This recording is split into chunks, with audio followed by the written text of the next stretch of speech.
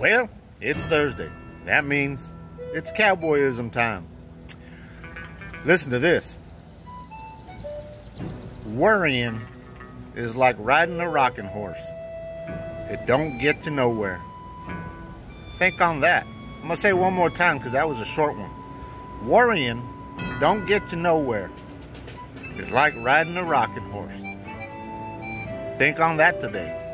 So, if the sun don't shine for me tomorrow, people, I've had a good time. So make good choices because Papa loves you. Stay beautiful. God is good. Bullying is bullshit. Children first. And all life is precious. I love you, sidekick. Peace.